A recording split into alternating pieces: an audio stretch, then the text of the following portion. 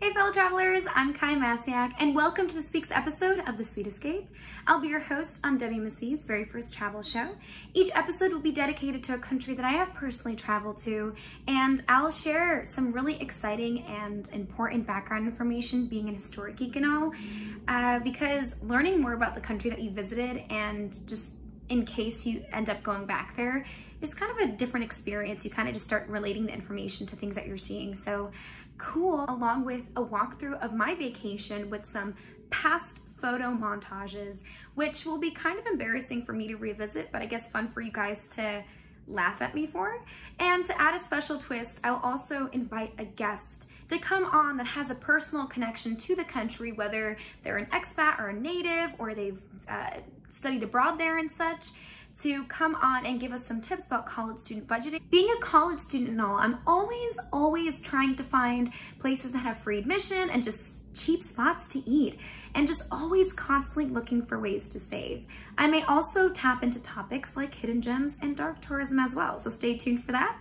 So join me and my quirky personality for this week's episode of The Sweet Escape, Croatia.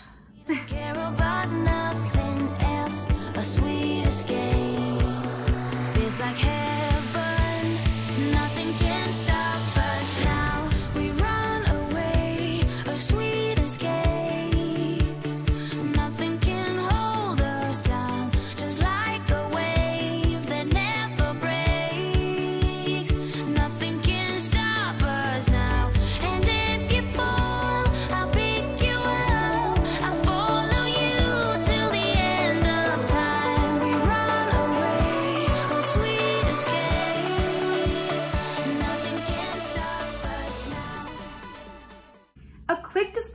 actually start the show. The majority of the information relating to Croatia's geography, history, fun facts, and more have been found through hours of research from outstanding sources found through a simple Google search. The majority of the imagery used besides my vacation photos is also not owned by me to support the facts that I'll be talking about.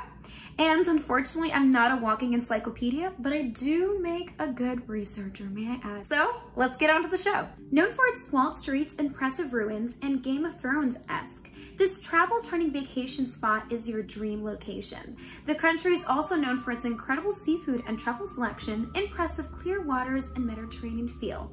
Located in southeastern Europe, this crescent-shaped nation neighbors Bosnia and Herzegovina, Slovenia, Hungary, and the Adriatic Sea. Travelers live for this country's hot and sunny climate. And of course, I'm talking about the one and only Croatia, and as the Croatians call it, Hrvatska, and as the Polish people call it, Horvatia. Located on the western part of the Balkan Peninsula in southern Europe, the country is divided into 20 counties, but four of these counties being the city of Zagreb, Primorje Gorski Kotar, Split Dalmatia, and Istri, accumulating the highest GDP in 2015. The country is further divided into four regions, Croatia proper, Istra, Slavonia, and Dalmatia, with the country's capital being Zagreb.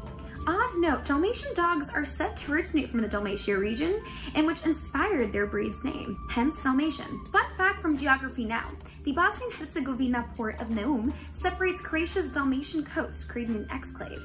As defined by Oxford Languages, quote, a portion of territory of one state completely surrounded by the territory of another or others as viewed by the home territory, end quote, in the Dubrovnik-Neretva area.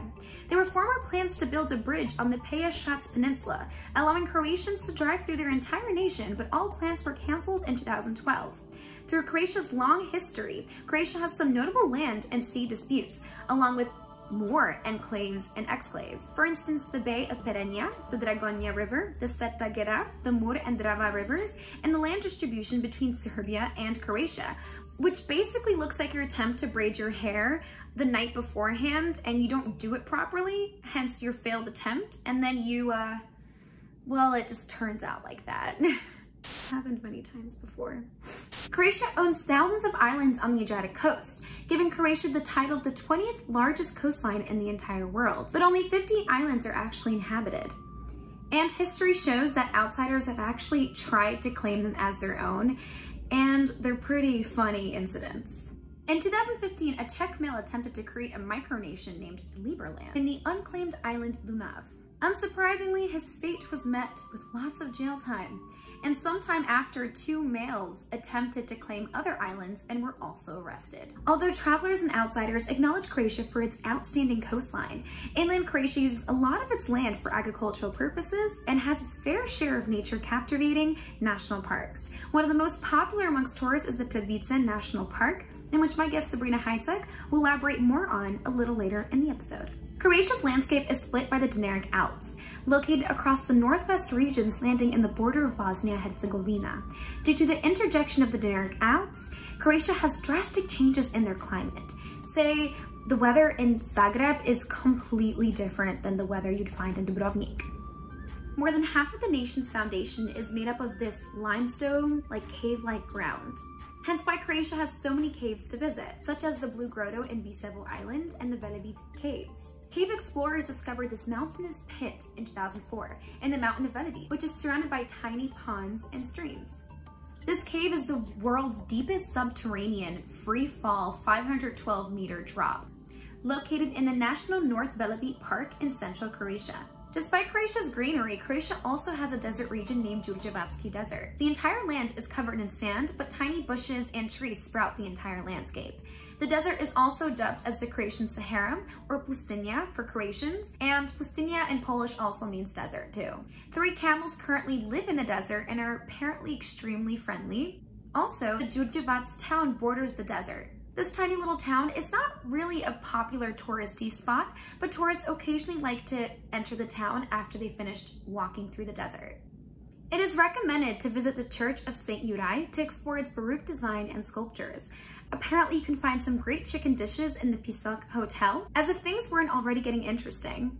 Đurđevac celebrates a holiday called Picokijada near the end of June, a holiday recognizing the town's victory over the Ottoman Empire. Throughout an entire week, you can find live sports games, boutiques filled with folklore clothing, products, and dishes. You can also expect to see the reenactment of the historical event in front of the town's old town fortress, with young performers dressed up in 16th century costumes. Croatia is home to a vast range of wildlife, such as bats, otters, elk, boar, martens, wolves, and the prized Eurasian lynx, which is the largest cat found in Europe. And the moment we've all been waiting for, Croatia's beautiful coastline with its beautiful scenic beaches and beach towns. These scenic beaches have been a magnet to tourism for the last 20 centuries, and not hasn't really necessarily been an economic trend in the past. Croatia has a long and complex history, which makes it that much more impressive and admiring that Croatians have built themselves to a significant place today. Starting in 11 BC and ending around the 5th century, Roman ruled and dominated Croatia. One of the Roman accomplishments left behind in the nation is the building of the Dalmatia region and the northern part of Pannonia. Roman roads connected the Black Sea to the Dalmatian coast. The greatest Roman ruins is also found in the city of Split, where Diocletian's palace lays, which I've personally been to, and my, let me tell you, the Roman temple's infrastructure It's like nothing you've ever seen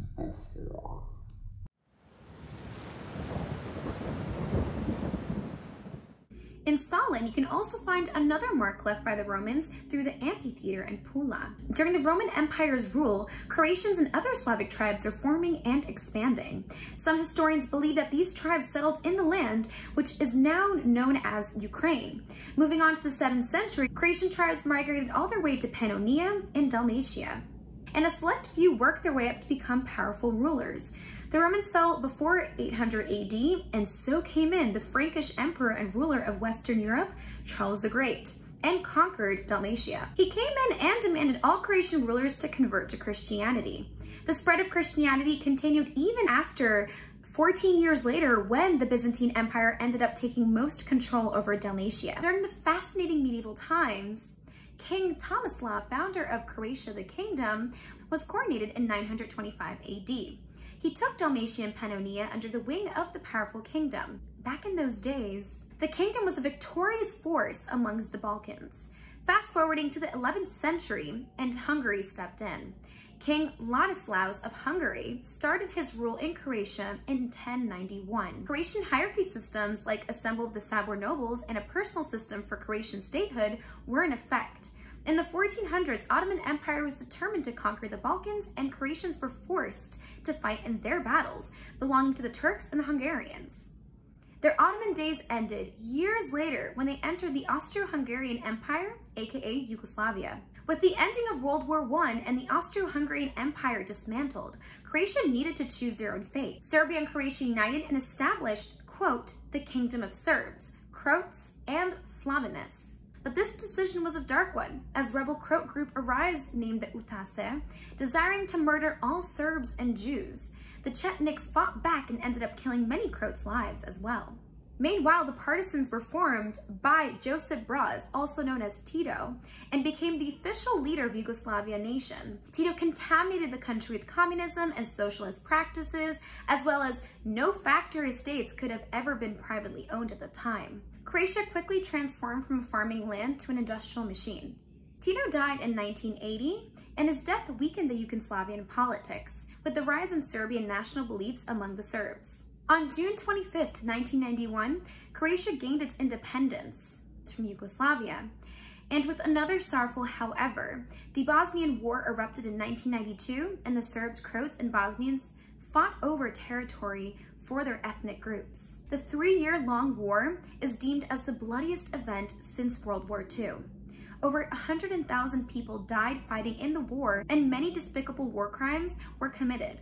Serbian President Slavian Milosevic initiated the mission to cleanse Serbia Yugoslavian allies, such as the Croats, Bosnians, and Muslims. NATO stepped in thankfully, retaliating against the Serbian president with airstrikes. This act impelled all parties to create the Dayton Peace Accords on December 14, 1995, ending the Bosnian War. Now, decades later, Croatia has become this rich and tourist-friendly nation, holding a strong economic stance partially due to its tourism, and has been in the European Union since 2013. And there's your Croatian history crash course.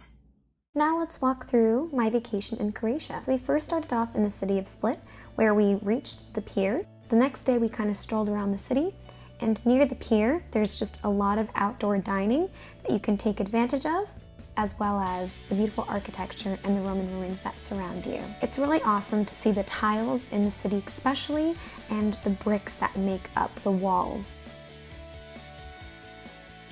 Then we actually moved on to Diocletian's palace. Near the center of the palace, there are a bunch of pillows that are seated for people to actually dine outdoors. Then we made our way to the Split Archaeological Museum. We ended our day in Split by visiting this rooftop restaurant that overlooked the entire city and it was gorgeous. Moving on to Dubrovnik, it was very packed that day and it was a very, very hot day, but the sun was shining bright and really got to see all of the different red roof-topped houses. We were lucky enough to stumble upon a water polo game that was happening between two towns in Croatia. Then, of course, we got to see the infamous pat that Cersei took when she was being punished. Last but not least, we actually visited the Cathedral of the Assumption of Virgin Mary. And of course, I did lots of snorkeling outside of doing touristy attractions. Hi, Sabrina Heislick. Thank you for joining me today. I just wanted to give you guys a little background information as to how I know Sabrina. Sabrina is the office assistant at WMSC, which is how I actually got to know her in the first place. And ever since, we collaborated and been working together since spring. Uh, yeah, spring. I've learned so much about her through FaceTime calls, and I can now say that she's my dear friend. So, and Sabrina happens to be one of the only Croatians that I actually know so, how awesome is that? That our paths crossed like that. Sabrina's mom is Serbian and Swiss, and she was born in New York State and raised in New Jersey.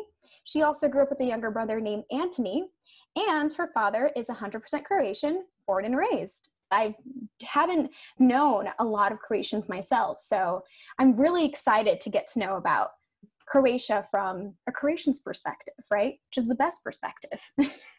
So yeah, thanks no, for joining me. of course, Kai. Of course, my pleasure. No, it's just so great because like I mean, it's like bittersweet having family from Croatia and like I have family in Switzerland and France as well. And it's hard because like I'm very far away from my family and it's to travel to Croatia or to Switzerland or to France, it's a long flight. And but I'm really I'm really thankful that I have family from all over the world just so I'm able to learn so much about different cultures and other ways of living. And I think it's great. Yay. And I think it's exciting too. I feel like we will definitely appreciate it a lot more because a lot of us don't really know uh, much about the Croatian culture. That is very true. Yeah. So I'm excited. I want to. I want to be educated. I want to be educated. I just recently found out that your dad was born and raised in Croatia. How awesome is that?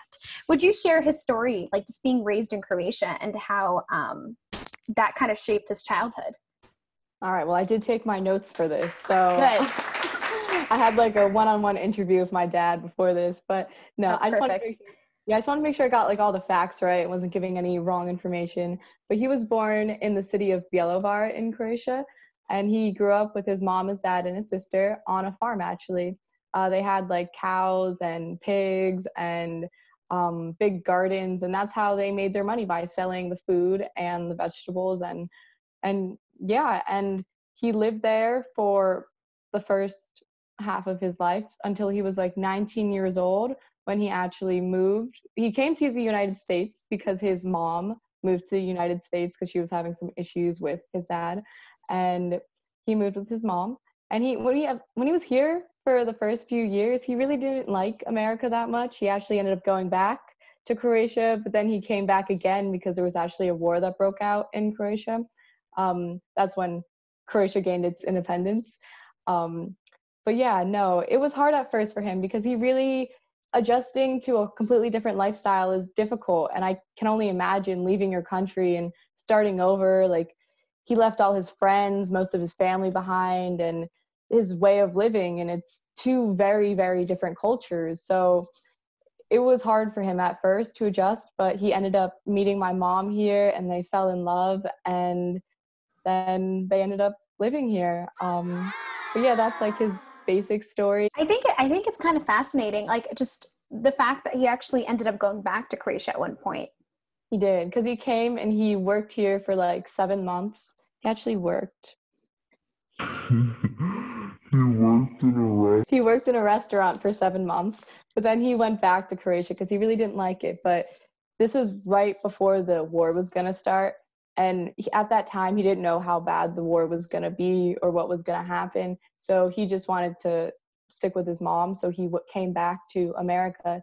And the war lasted for, I think, four to five years. So he ended up staying here for that period. And that's when he met my mom. Where are you guys living right now? How's the family situation looking like? Um, well, we actually live. Um, I live in Randolph, New Jersey, but we live with my so my mom, my dad, my brother, and then my grandmother, who was the reason why my dad, who was the reason why my dad moved to America in the first place. She lives with us. Um, in our we have like an apartment like style home, so she lives in like the bottom apartment. So um, the five of us live together with my dog. It's cool because I live with my grandma and my dad, who are both Croatian. So I definitely Mhm. get a lot of like the culture, even though I should I I should know how to speak Croatian and I don't.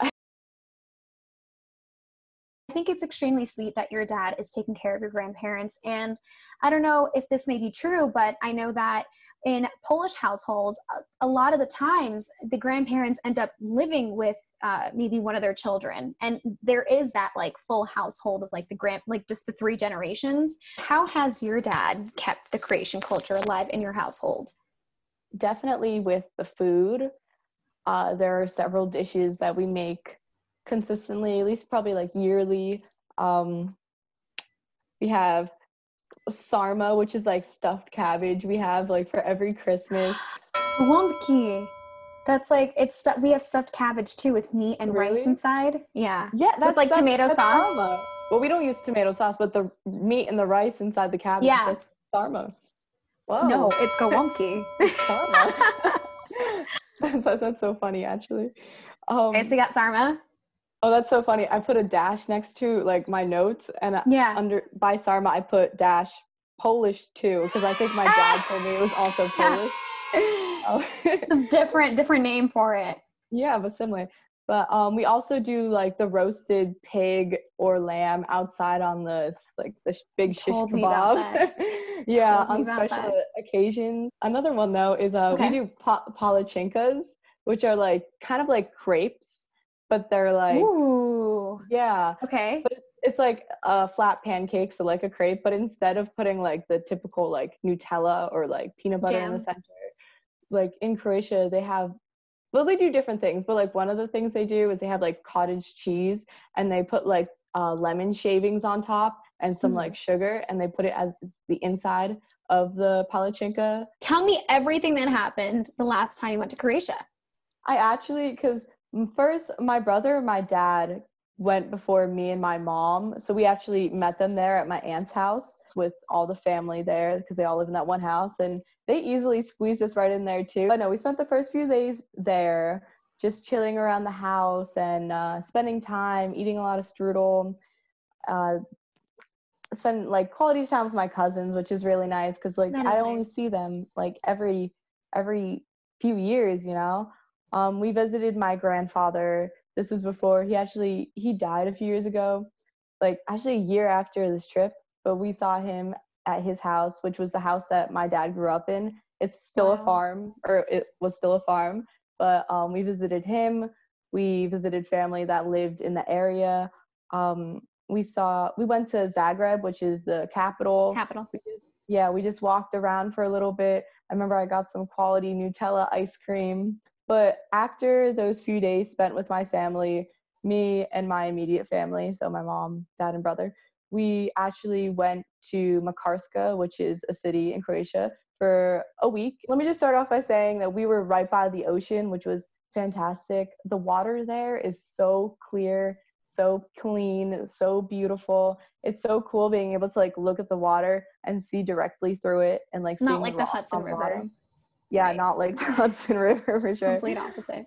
No, but it's so clear. It's gorgeous. Um, but we did um a bunch of things. One day we actually okay, so in Europe it's popular to go to have like nude beaches and like to go Mhm. swimming naked. Like that's part of I guess their culture there in Europe all around. One of the days we went on a submarine, um, in a submarine, and we Oh, were that's cool. Yeah, it just like went around like the coast of like like the little part, the little city of Makarska, and it was cool because it showed us like all like the fish and all like the seaweed underneath, and it was really cool. But when we were in the submarine, we saw like like this guy swimming by who was naked, and and it was like so it was so funny and at the time i was in like the seventh grade so just seeing that was like oh my god That's what a man looks like. but yeah so that was makarska for you What would you say were like your favorite moments the last time that you visited Croatia? uh, i actually forgot to mention this before when i was talking about where i went on uh, what i did on vacation last time but we actually visited one of the national parks uh, Plitvice, which is ah, Kai, you got to insert some really nice pictures right here because Mm, these are some okay. beautiful waterfalls, the cleanest, the clearest, the most blue, beautiful waterfalls I've ever seen in my entire life. And it's a big chunk of land. It's a state park and it's all so stunning. And there were tons of tourists there. And it was just so beautiful, so beautiful. Would you say like visiting that national park was probably like one of the most key takeaway moments of your trip? Probably, yeah. Oh, I totally, I totally agree with you wholeheartedly. Like I'm looking at these pictures and I'm just like, I want to be there and I want to live there and, you know, I just want to be one with the trees. Like, what am I doing Mhm. here and, you know, my room? There's, there's no Yeah. heavenness here. It's just stress. There and- isn't. just stress and Netflix. From one college student to another, uh, what would you say are like the ultimate hotspots or just trips traveling in Croatia, but maintaining and staying on this enthusiastic but broke college student bucket list?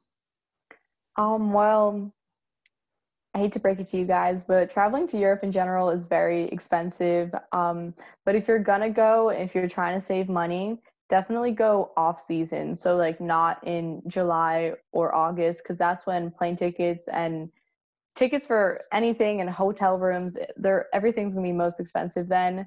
So I would recommend going in the spring or autumn. Either or will probably work.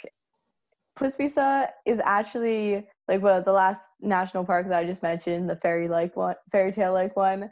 It's pretty expensive during in like July and August, but if you go off season, it can range from like ten to like twenty seven dollars for admission, which is pretty reasonable. So like a few other places I would recommend if you're trying to travel on budget that you could visit are Cres Island, which is a really cute island that has a really nice beach and they're actually known for their eco center. The island is actually known for, I have it written down here, the Eurasian griffon vultures, which have the wingspan of more than nine feet, which is crazy. That's a cute place to go if you're looking for somewhere on budget to go, as well as As well as. Karlovac, which is like a Renaissance town, and they have um, they have rafting there too, and some nice rivers, and it's very historical. Thank you for sharing these tips with us because, you know, I definitely travel with my dad.